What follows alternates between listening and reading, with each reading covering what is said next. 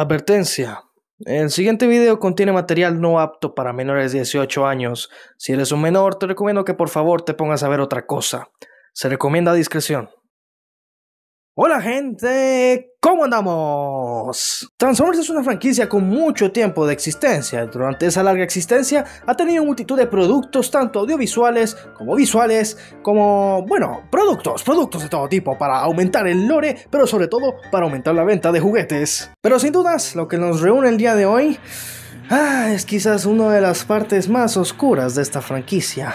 Es bastante curioso cómo todo el fandom ha llegado a la increíble conclusión de ponerse todos de acuerdo, sin haberlo dicho alguna vez, de jamás, nunca hablar de Kiss Players. De ahí cuando alguien nuevo llega y pregunta, oigan chicos, el otro día estaba hablando con un amigo y me mencionó algo llamado Kiss Players y no me quiso explicar qué rayos es eso. ¿Me pueden explicar ustedes, por favor? ¿Qué, pasa? ¿Por, qué se me queda mirando así? ¿Dónde rayos está tu amigo ahora? ¿Por, qué? ¿Hizo, ¿Hizo algo malo? ¡No dejen que se acerque a la guardería! Así que el día de hoy haremos un análisis. Ahem, ahem, sesudo y conciso sobre qué carajos es Kiss Players. Comenzamos. ¡Sullivan! ¡Sullivan! ¡Dame a la niña! ¡Obedéceme! Kiss Players es una de las tantas franquicias de Transformers que llegaron a existir que nacieron en Japón. Sí, claramente no podían nacer en otro lugar.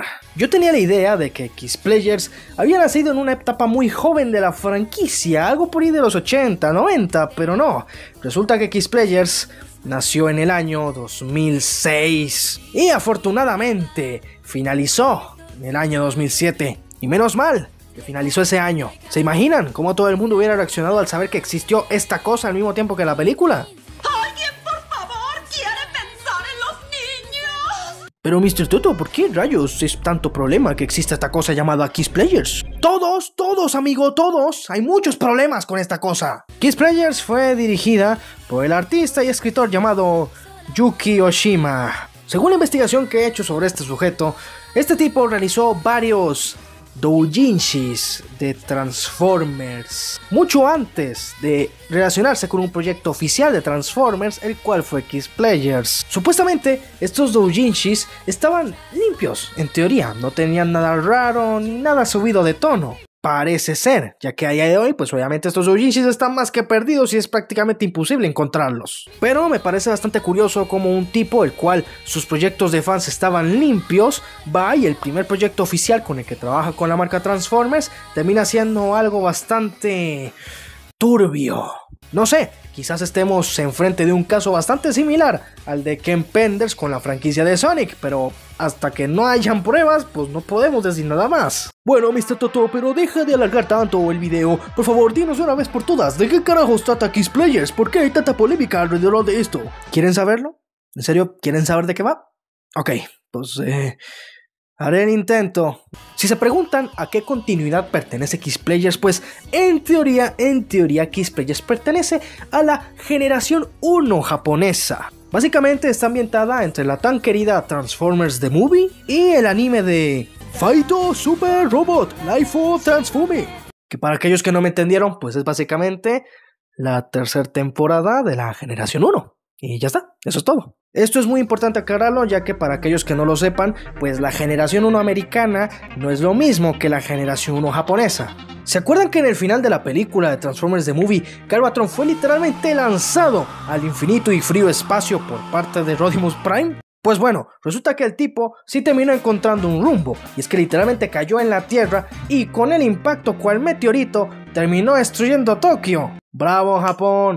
Bravo, otra vez destruyendo Tokio, que no se pierdan las costumbres. Debido a este horrible suceso, las relaciones entre los humanos y los Transformers se pusieron un tantito tensas al grado de que empezó a ocurrir un movimiento anti-Transformers en la Tierra, provocando la fundación de una agencia gubernamental llamada Comando de Defensa de la Tierra, la cual había sido fundada por la comandante Itoshizuku Amao la cual fundó esta organización debido después de la muerte de su hija en este trágico suceso.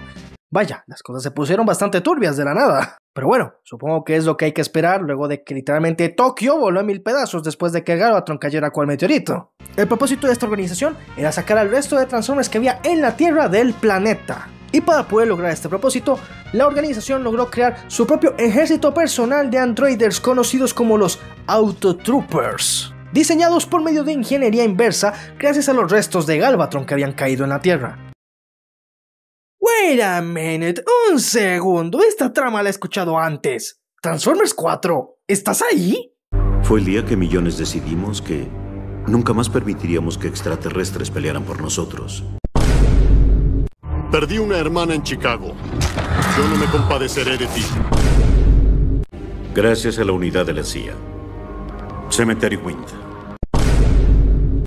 Ya podemos construirlos. ¿No lo entiendes? Ya no los necesitamos.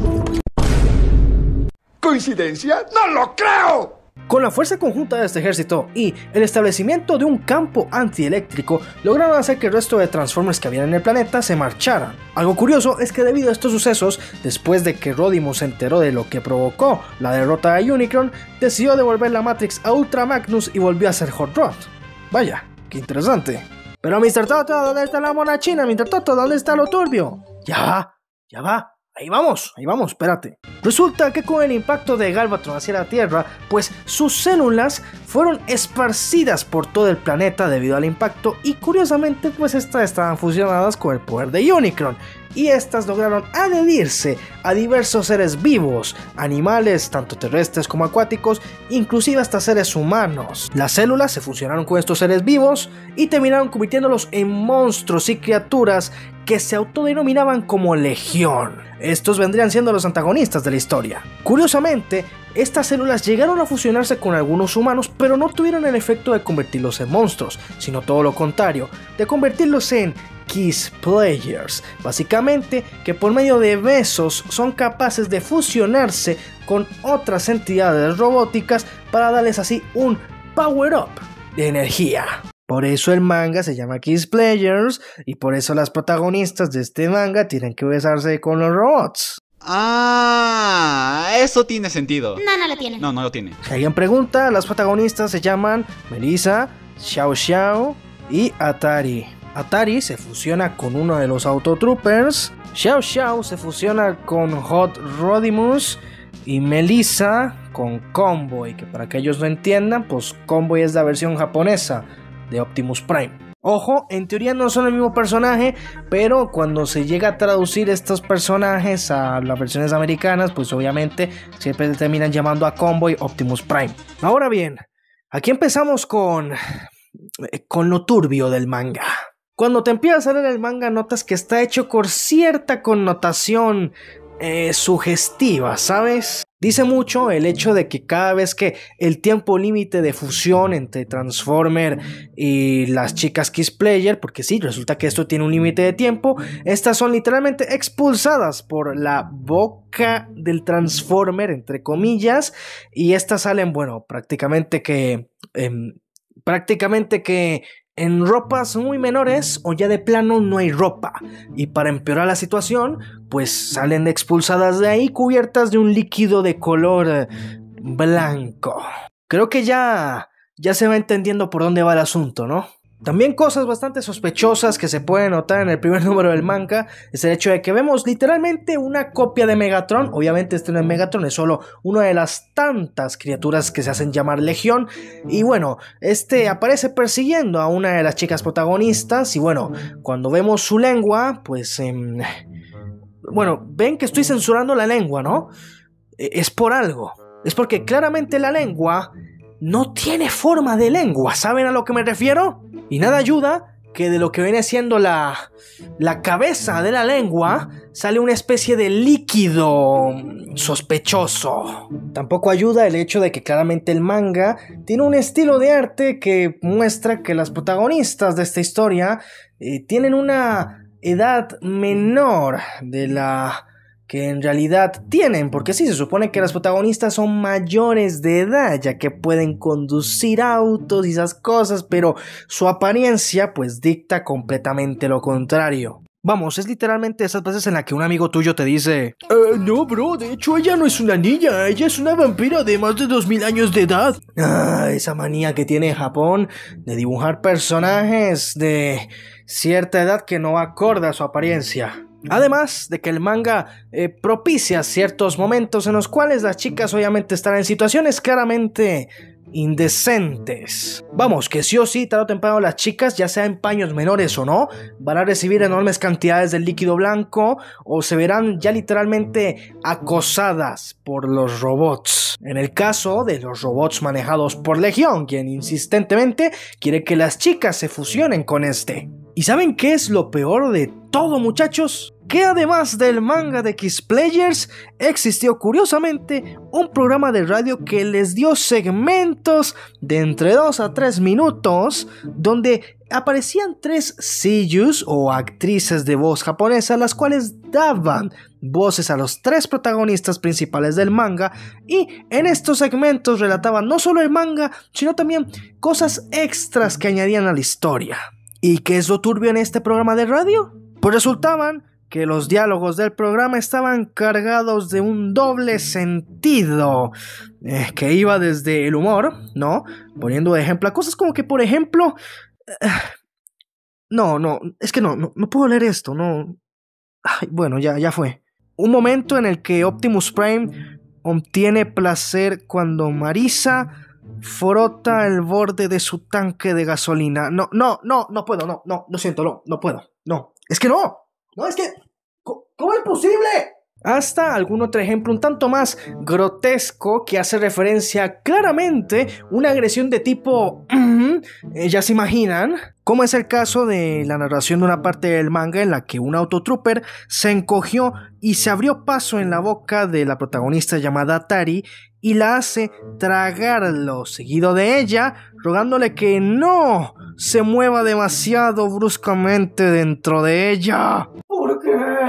¿Por qué? no. ¡Ah! ¿Qué carajos han hecho? ¡Japón! ¿Qué hiciste los Transformers, Japón? ¿Saben qué es lo peor de todo esto? Que muchos pensarían que quizás este programa de radio em, sería una especie de los media y que por suerte ya nadie nunca jamás tendría acceso a él, ¿no? Pero no, resulta que todos los putos segmentos están subidos en YouTube. Si hay alguien aquí en la audiencia que le interese verlos, pues abajo les dejaré un link en la descripción. Eh, obviamente estos están en, idioma japonés, porque obviamente era un programa de radio japonés, pero tiene subtítulos en inglés por si alguien le interesa saber de qué putas hablaban en este programa de radio. Luego del lanzamiento de esta primera parte del manga, hubo reacciones muy, em, ¿cómo decirlo? Explosivas, ¿no? Hubo mucha gente que se quejó de que obviamente esto no es material para niños, ya que supuestamente esto estaba dirigido a chicas más pequeñas, o en todo caso a chicas que sean fans de la franquicia Transformers, pero esto claramente tiene connotaciones para un tipo que ya tiene pelos en los huevos. Y claro, como en todo tipo de polémica relacionado a eh, chicas menores relacionadas al manga o al anime, pues obviamente salieron el cierto tipo de personas que vienen y te dicen, ¿y qué tiene eso de malo? Eh, ya te vimos, eh, ya te vimos, fan de Monogatari, eh, quédate quieto. Quédate quieto, no te acerques a esa escuela, que todos sabemos que no tienes ninguna hermana menor. Con este tipo de personas justificando de que esto no tiene nada de raro, sino que es algo un tanto más cultural, entre comillas, y que esta era la gracia de ver el manga. Supuestamente, la gracia de ver esto era que ver asaltos de índole sexual. Obviamente esto provocó que mucha fanaticada japonesa alzara la voz y denunciase el manga, temiendo obviamente que la fanaticada estadounidense cuando llegase el producto a tierras americanas pensase que esto fuese normal en Japón. Por su parte, el escritor y diseñador de este manga, Yuki Oshima, admitió que el diseño de la serie como tal fue hecho de esta manera para dejar boquiabierta a la gente. Sí, claro, Yuki, claro. Claro, y todos nacimos ayer y nos chupamos el dedo. Claro, claramente lo hiciste de esta forma para dejar boquiabierta a la gente. Debido a toda la polémica que armó esta primera parte del manga, generó que por suerte la segunda parte eliminase cualquier rastro de contenido de índole Bueno, eh, ya saben, ¿no? La palabra con S. Afortunadamente, para esas alturas en que se lanzó la segunda parte del manga, la gente había perdido todo el interés, declarando inclusive en aquel entonces a X-Players como el peor producto de Transformers jamás hecho. El público ya no estaba interesado, lo cual obviamente provocó la cancelación inmediata del manga. Uno pensaría que aquí terminaría la historia de X-Players, obviamente. Pero claro, aquí hay algo que estamos olvidando, y es que cualquier producto audiovisual de Transformers no se hace meramente por el amor al arte, se hace con el único objetivo de vender ¡Mercadotecnia! ¿Dónde están las verdaderas ganancias de la película? Oh, así es, hermano. Así es. Esta cosa tuvo su línea de juguetes. Obviamente, Takara no se iba a esforzar demasiado en hacer figuras nuevas. Recordemos que estamos hablando de año 2006 y todavía no había llegado la película. Y les recuerdo que por aquellos años Transformers no estaba pasando por el mejor momento. Por lo que en la línea de Vinaltech, lo que aquí conocemos como Transformers Alternators, Takara decidió crear Vinaltech Asterix, una línea la cual eliminaba tanto las cajas de lujo como las partes de metal de los robots, entregando meramente figuras de plástico. Y en esta línea se lanzó una figura de Reed 2001, el personaje de Sunstreaker, que traía, por cierto, una minifigura del personaje de Junko. Y esto, esto de aquí, es lo que Takara utilizaría de base para sacar las figuras de Transformers Kiss Players. Tuvimos un total de tres figuras más varios sets complementarios. Vamos a empezar a verlas uno por uno, que es lo típico que hacemos en este canal.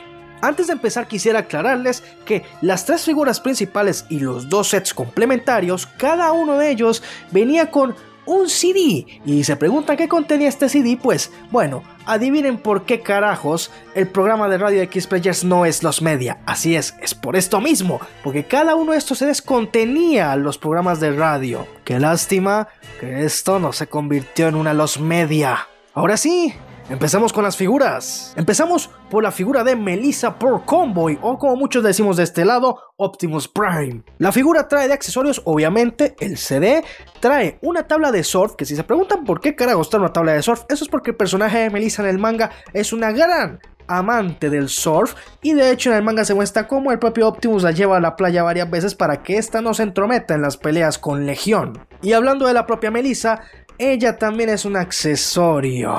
Muchas gracias Cybertron, muchas gracias por estas fotos. Si se lo preguntan, la tabla de surf termina convirtiéndose en una especie de espada doble para Optimus, mientras que, al ser esta figura una figura de Alternators, el motor termina convirtiéndose en una pistola. Sorprendentemente, es una figura bastante buena. Sé que por la apariencia quizás a mucho no le guste, debido a que tiene demasiado kibble, pero recordemos que es una figura de la línea Alternators. Esta línea se caracterizaba porque se enfocaba más que nada en traer lo más realista posible los modos alternos, al grado de que algunas de las figuras estaban licenciadas y de hecho esta figura lo está. Tiene la licencia de ser una Dodge Ram, más concretamente el modelo SRT10. Y para finalizar, la minifigura de Melissa viene con partes extra para que esté tanto en una pose sentada como en una pose de pie. Sorprendentemente, a pesar de que la minifigura de Melissa es bastante pequeña, esta no está nada mal, está bastante detallada. Eso sí, en cuanto a pintura, sí deja que desear en ciertas secciones, pero no está para nada mal hecha. Luego seguiríamos con la figura de Hot Rodimus y Xiao Xiao, la figura nuevamente muestra un modo vehículo muy pero muy hermoso, el cual en este caso cuenta con la licencia de Ford para representar un GT. Por si te lo preguntabas, sí, es aquel auto que salía en GTA Vice City. La figura cuenta con varios accesorios, cuenta con una pistola, cuenta con lo que parece ser una especie de cuchilla y en forma de, no sé, de referencia a la película de Generación 1 o me imagino alguna parte del manga porque no me atreví a seguir leyendo más información sobre de qué va el manga, la figura trae una caña de pescar bastante grande. Y obviamente, al igual que la anterior figura de Convoy y Melissa, pues trae la minifigura de Xiao Xiao, que una particularidad es que esta figura no trae compartes extra para posarla, pero en cambio trae una caja de dumplings. Y ella está comiendo un dumpling. Y por último, Rodimus en su modo robot está bastante bien hecho, la verdad. Obviamente, al ser una figura de la línea Alternators o Tech, pues el Kibble obviamente limita la posibilidad, pero como tal, es un modo robot bastante bien hecho. Por último de estas figuras tendríamos al Auto Trooper por Atari. Esta figura cuenta con la licencia de Mazda para representar un RX-8. La figura cuenta con varios accesorios. El primero de todos es que la mufla del modo vehículo se convierte en una pistola. Esta también cuenta con unos conos de tránsito los cuales puedes fusionar para convertirlos en una especie de cañón doble. Y además de eso, obviamente trae la minifigura de Atari, la cual trae de accesorio también un par de brazos intercambiables para que esté en otra pose diferente, sosteniendo lo que es un, no sé, una especie de bolsa o algo. Y la figura también trae de accesorio un Crimsic. Ya saben, estas cosas diabólicas hechas de energía que aparecían en aquel capítulo de la generación 1. Pero es muy simpático. Simpática tu abuela, tenemos que terminar con él. Y por último, el modo robot del Autotrooper, el cual está bastante bien hecho. Es más, me atrevería a decir que de las tres figuras, esta es la mejorcita de todas, más que nada porque no tiene que liar con tanto kibble. Sí, tiene mochila, pero por lo menos esta figura puede moverse libremente y tiene mucho más rango de posibilidad que las otras dos. Y aquí terminaríamos con el resto de figuras transformables. A continuación, empezaremos a ver el resto de figuras que aún no son transformables o son los sets complementarios. Empezando con la figura de Atari, la cual es una figura de PVC que viene incluida junto con una mini figura de un Autotrooper. Así es, como lo escuchan, es una versión miniatura de la versión de Alternators que tenemos de Autotrooper, pero que ahora pues es más, eh, bueno, pequeño. Y si se lo preguntan, sí, es completamente transformable. Y luego esta figura sería relanzada en una especie de recoloreo en el 2007 y solo sería conseguida por medio de una revista. Si se preguntan por qué los colores oscuros y la insignia de Decepticon, es porque esta Atari representa a la versión que se ve en el manga que terminó siendo poseída por el fantasma de Starscream. Así es, esto pasó en el manga. Y para finalizar, tendríamos el set de Kiss Players de los Casetron, Básicamente estos eran personajes que aparecían en la segunda parte del manga, los cuales hacían una especie de banda de idols junto con las Kiss Players. Y como tal, estas figuras son básicamente recoloreos de Laserbeak, de Rewind y de Ravage. Estas figuras, por cierto, fueron exclusivas de la tienda eHobby. Y por último, los Kiss Players Spark Bots. Y algo que quiero agregar de estas figuras es que, por alguna razón, me recuerdan a Bakugans. Estas figuras, por cierto, fueron exclusivas de la Toy Festival Convention del 2007, lo cual, por cierto, los hace unas de las más difíciles de encontrar a día de hoy, tanto así que hay muy pocas imágenes de ellas en internet, y lo que las convertiría muy probablemente en las figuras más difíciles de conseguir de todo Kiss Players. Y ya para finalizar, no sé si lo sepan, pero resulta que Hasbro es un experto en el tema este de rugir de tripas, si saben de lo que hablo. Porque literalmente vieron a Kiss Players y se aplicaron un don cangrejo. ¿En serio voy a profanar esta tumba por dinero? Claro que sí.